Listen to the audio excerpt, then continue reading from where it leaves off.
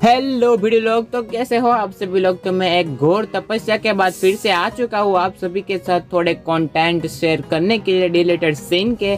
तो यार, आज हम सभी लोग साथ में मिलकर बनाते हैं खुशियों वाली रंग भरी होली। तो आइए हम सभी लोग खेलते हैं एक साथ। तो दोस्तों, मगर वीडियो को शुरू करने से पहले शॉर्ट आउट देना चाहूँगा पिछले वीडियोस के विनर को, जिन्होंने आंसर दिया था। सही वाला, अगर गाइस आप भी वीडियो के विनर बनना चाहते हो तो इस वीडियो में पूछे जाने वाले क्वेश्चन का आंसर देते रहिए और क्या पता यार कभी आप भी विनर बन जाओ हमारे वीडियो के। तो यार, जल्दी से आप वीडियो को शुरू करते हैं बिकॉज़ यार इस वीडियो के अंदर काफ़ी ज़्यादा एक्साइटिंग थिंग्स है जो कि आपको देखने में काफ़ी मज़ा आएगा। और इस वीडियो को एंड तक ज़रूर देखना क्योंकि आपके लिए इस वीडियो में काफ़ी ज़्यादा सरप्राइजेस भरे हुए हैं। और तो और आज मैं दो बोनस एनिमे लेके आया हूँ और वो बोनस एनिमे आपको वीडियो के एंड तक पता चली जाएगी कि वो कौन से हो गए। ओके सो अब वीडियो को कर देते हैं सर सो लेट्स बिगिन तो फ़र्स्ट ऑफ़ ऑल मेरे प्यारे दोस्तों, हम सबसे पहले देखने वाले हैं सिंचन के डिलीटेड सीन जो कि बद से बदतर हो गए थे। बेसिकली ये सिंचन का ओल्ड एनिमेशन है। इतना ओल्ड कि यार, आप लोग एनिमेशन देखोगे तो आपको पता चल ही जाएगा कि यार, इसका एनिमेशन थोड़ा सा डल था।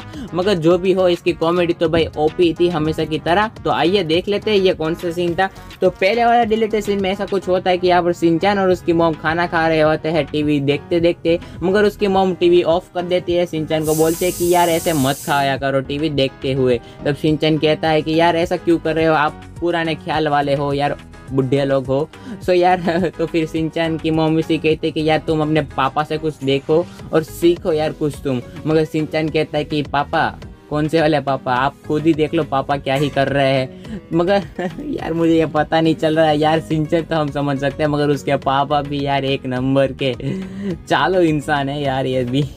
एंड देन दोस्तों, इसके बाद जो रिलेटेड सीन नंबर टू है, वो तो यार गजब ही है। यार, आप देख के शौक ही हो जाओगे एकदम। तो इस सीन में कुछ ऐसा सीन क्रिएट हो जाता है कि यहाँ पर उस सिंचन की पूरी फैमिली खाना खाने बैठी होती है।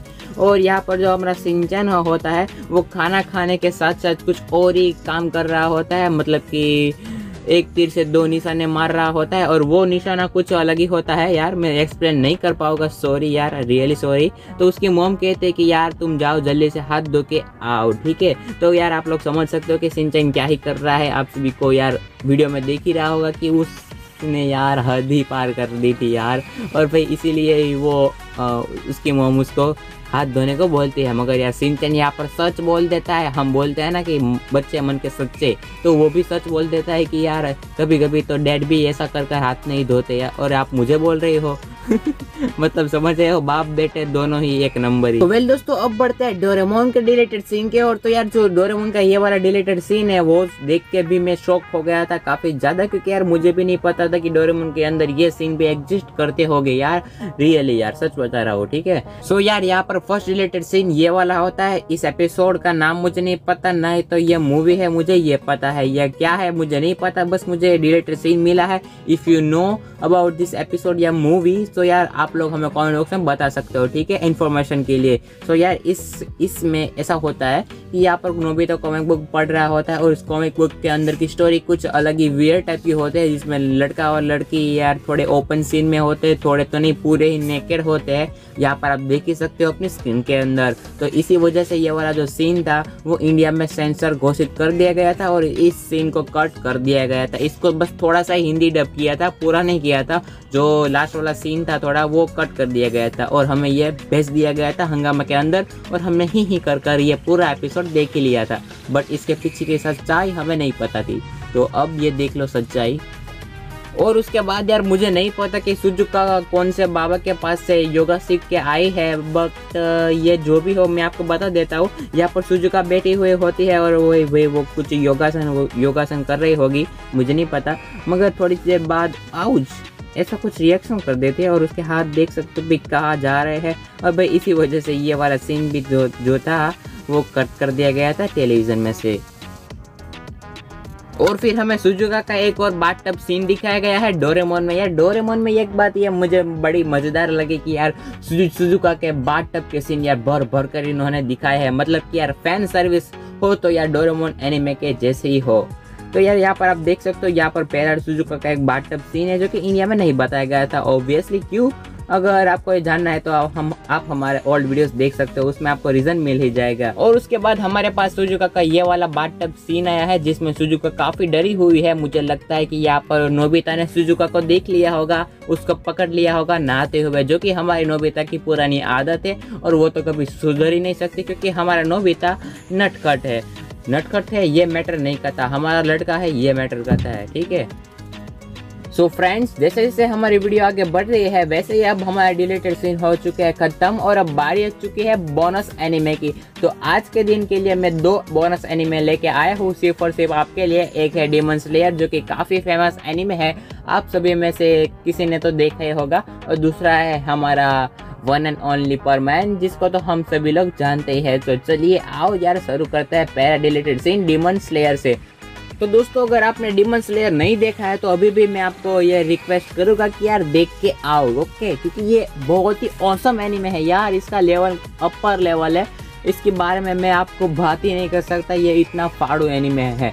और इसमें यार भाई बहन का रिश्ता आय हाय। और इसमें ये वाले सीन आय हाय।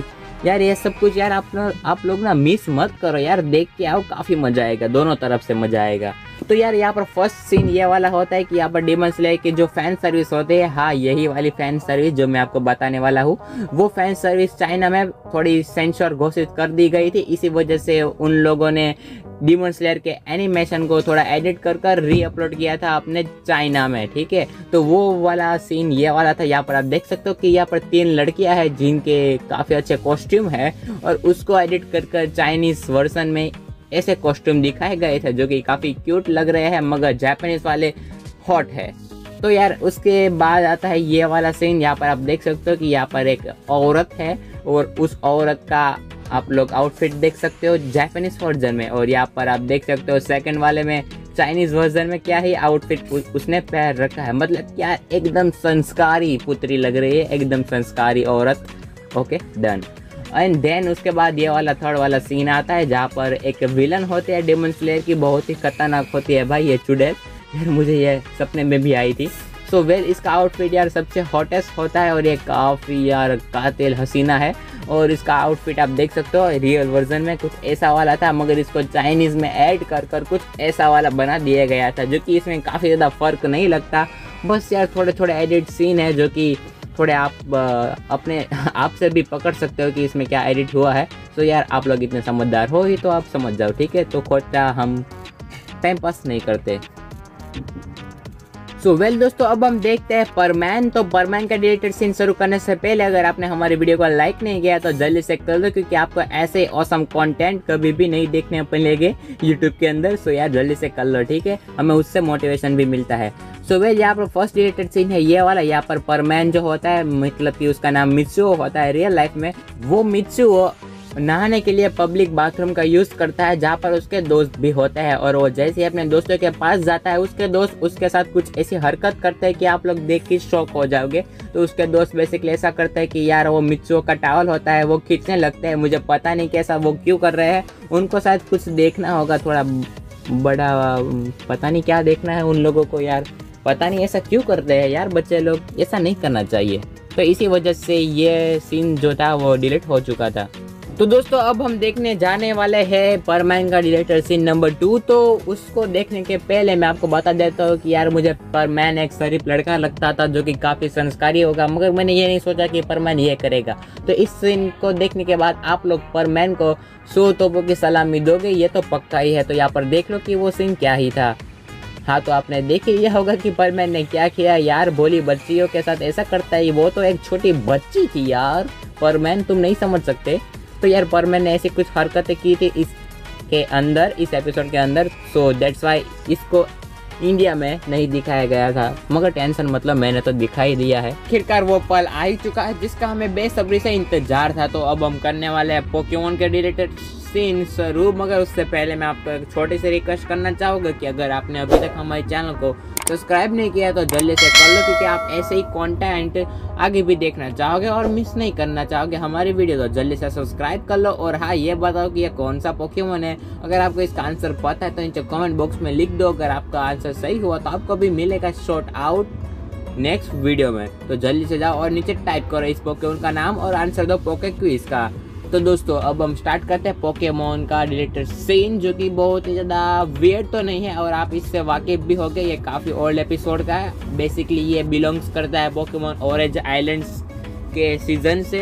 तो इसमें बेसिकली आपको एक कैरेक्टर देखने को मिल ही गया होगा, जिसका नाम था रूडी जो कि एक वाटर टाइप ट्रेनर था मिस्टी के जैसे ही। और इस एपिसोड में मिस्टी और रूडी के बिहेवियर को भी हमने देखा था, काफ़ी अच्छा था। उन दोनों की तालमेल भी काफ़ी अच्छे बैठ रही थी। और इसको ही देखते हुए रूडी ने मिस्टी को ये बोला था कि, यार, तुम क्यों ना यही, यहीं पर मेरे साथ रहो? और हम दोनों एक साथ ही पोकेमोन वाटर टाइप पोकेमोन की, यार ट्रेनिंग करा करेंगे। और बाकी सब कुछ उन लोगों का ड्रीम वो था, सब कुछ एक सेम ही था। और इसी वजह से रूडी उसको वहाँ पर रुकने के लिए बोलता है। ये हमने देखा था हिंदी वर्जन में, मगर यार इसके इंग्लिश वर्जन में ये था कि यार वो रूडी होता है, वो मिस्टी को अपने साथ मैरिज करने के लिए बोलता है। और वो उसको मैरिजल प्रपोजल भी कर देता है उसी एपिसोड में। मगर वो हिंदी डब में आते आते चेंज हो गया था, जो कि मैंने आपको पहले बताया, वो उसको हिंदी डब में उसको बोलवाया था। तो यार इंग्लिश डब में और हिंदी डब में इतना सा चेंज कर दिया गया था पोकेमोन में। अब ऐसा क्यों किया यार, ये तो मुझे पता नहीं। मगर जो भी हो मिस्टी ने उसका प्रपोजल स्वीकार तो नहीं किया था। और वो उसने इसके साथ अपना सफ़र जारी करने का सोचा था। तो यार, बस इतना ही आज के वीडियो में यार। होप कि आप सभी लोग को काफ़ी मज़ा आया होगा और यार, इस वीडियो को बता बनाते बनाते यार मैं पिघल गया लिटरली क्योंकि यहाँ पर बहुत ही ज़्यादा गर्मी है और यार मैं फ़ैन ऑफ़ करके बैठा था क्योंकि आपको अच्छी सी वीडियो क्वालिटी दे पाऊँ। सो वेल यार, आप लोग अपने भाई की मेहनत समझ ही सकते हो और अब आपको इस वीडियो को अपने सारे दोस्तों के साथ शेयर करना है और उनको भी बताना है कि इन सभी एनिमे में यह सब कुछ था जो कि तुमने भी नहीं देखा होगा। तो जल्दी से जाओ और शेयर करो और अब हम मिलते हैं नेक्स्ट वीडियो में। तब तक के लिए हमारे ये ओल्ड वीडियोस है, वो ज़रा एक बार देख लो। Okay so bye bye